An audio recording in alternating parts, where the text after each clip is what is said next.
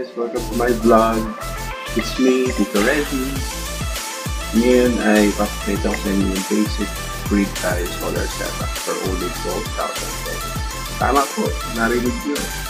12,000 pesos lang. 400 watts uh, basic grid tie solar setup.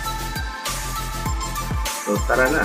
So uh, una, papakita ko muna sa inyo yung mga kailangan para mabuo natin yung ating solar grid tile setup.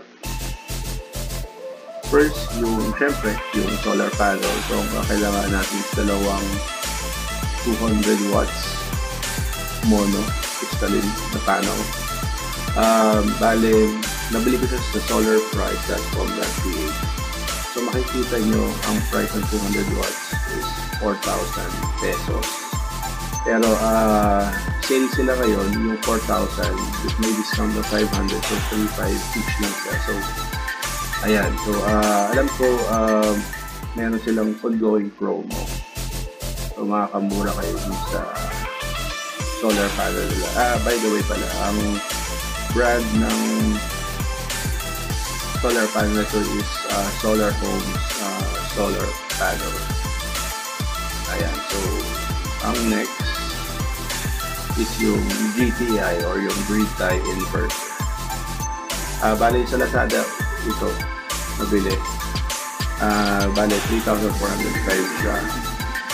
Siyempre plus shipping. Mga around 50 pesos yung shipping. Yung next naman is yung watt meter. Ayan, 440 pesos. Uh, Siyempre, kailangan din natin ng DC breaker. Yan, 245 pesos. Sumunod yung distribution box. Diyan natin nalagay yung DC breaker para at least ano, protected siya. Hindi siya nababasa, gano'n. Kaya mahirap na ba mag-short yung setup natin. Ayan, so uh, computein natin yung total cost. Hindi ko na sinama yung wire uh, AC breaker dun sa mga previous slides ko. Pero ito ba, ito yung nilist ko na lahat ng kailangan natin. So, dalawang 200 watt solar panel. 3.5 ang isa. So, 7,000 pesos. Grid inverter. 3,405. Sinama yung shipping yung 50 pesos. 3,455. Watt meter. 440 pesos. DC breaker. 245 pesos. Yung distribution box. 286 pesos. Wire. Uh, 10 meters yung ginamit ko. So, 33 pesos per per meter. So, 330 pesos siya. Tapos yung AC breaker na 230 pesos. Pero optional lang siya. And since yung grid tie inverter naman natin, merong built-in na fuse. So, yun yung magpo-protect sa kanya sa mga short. Pero, mga short circuit. Pero, syempre, for uh, safety purposes din, nasa yan kung mo ka ng AC breaker. So, ang total ay 11,000 yan, 986 pesos. Diba? Mura. For a 400 watts basic setup. So, ayun. So, uh, yan yung mga kailangan natin para makabuo ng basic grid tie solar setup. So, siguro, um, pag tayo magbubuo ng solar setup, lalo pag grid tie, syempre, kailangan mong alamin muna kung gaano kalaki yung konsumo mo sa araw-araw.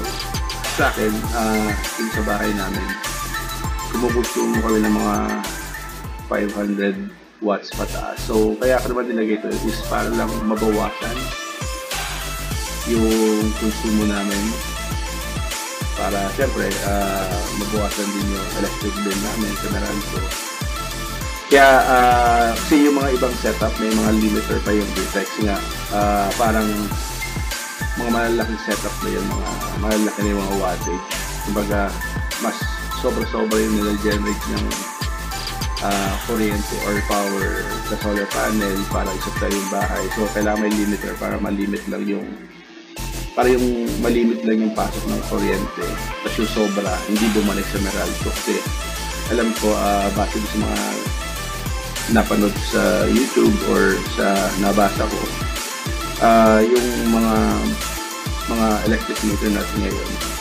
Hindi siya parang hindi niya na-read if umaandar siya ng pa, pa forward or pa backward same pa rin yung reading niya charge pa rin tayo sa every wattage na nakusumo natin. So yun nga. So yung mga malalaki setup nilalagyan na ng limiter para lang kung ano lang kailangan ng bahay yun lang yung ng power since sobrang lalaki na yung mga solar panel nila sobra-sobra yung na-generate nilang power. Pero sa atin since maliit lang 400 watts kasi hindi naman uh, mag-generate ng full 400 watts yung mga panels natin.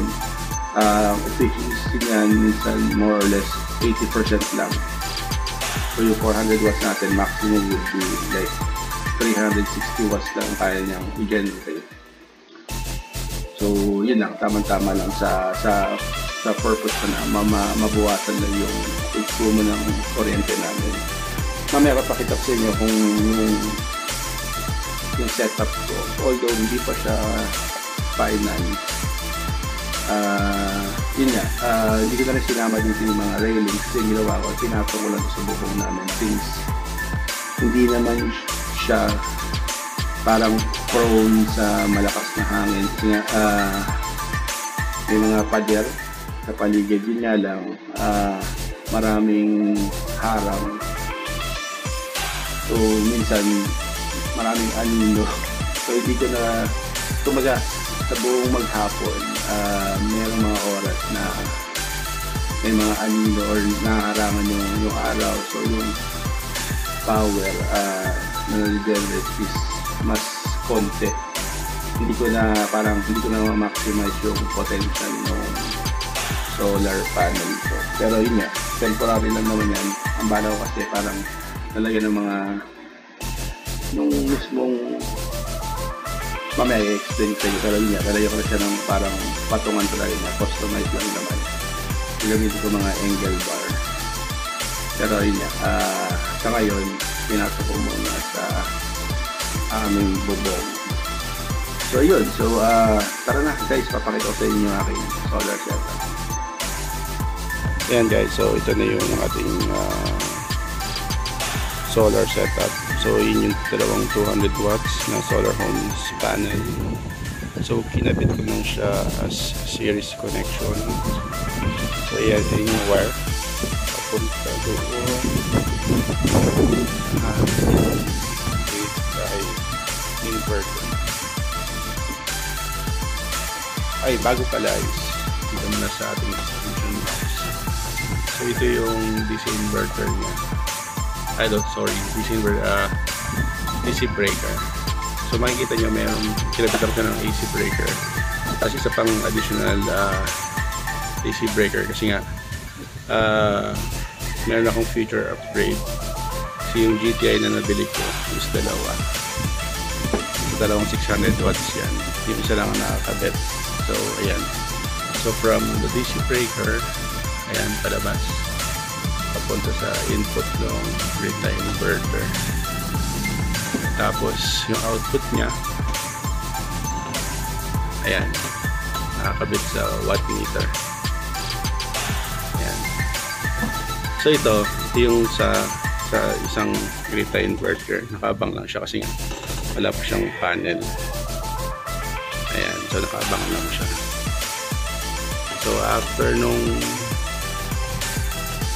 nakakabit sa watt meter. So lagyan ko siya ng AC outlet. So papunta siya sa AC breaker. Tapos tsaka diretso sa power supply. So kinabit ko siya sa aircon na outlet. Since meron din siyang breaker. Tapos papunta na yan doon sa aming pinaka main breaker. So ayan. So ngayon anong oras na? Medyo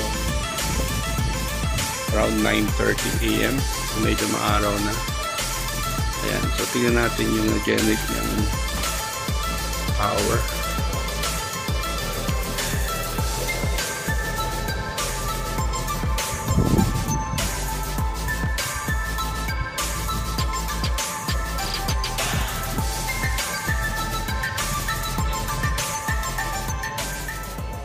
ayan so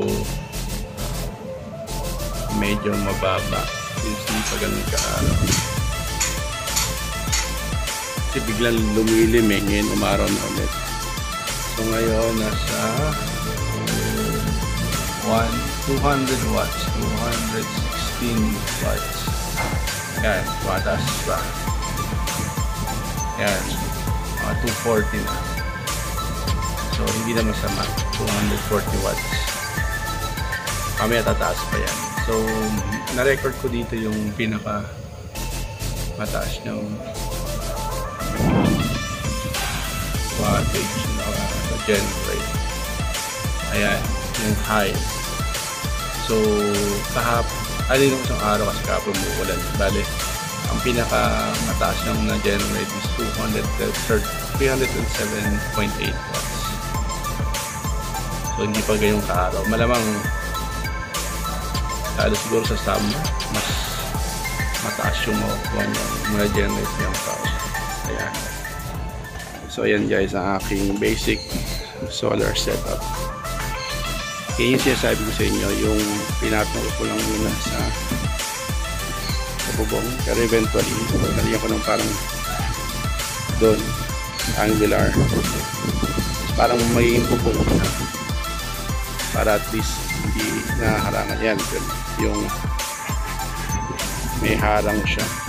Mahaharangan siya mamaya. So mawawala yan mga around 10 p 10 AM na ng tanghali. So kapag nahaharangan, bumababa yung na-generate ng power.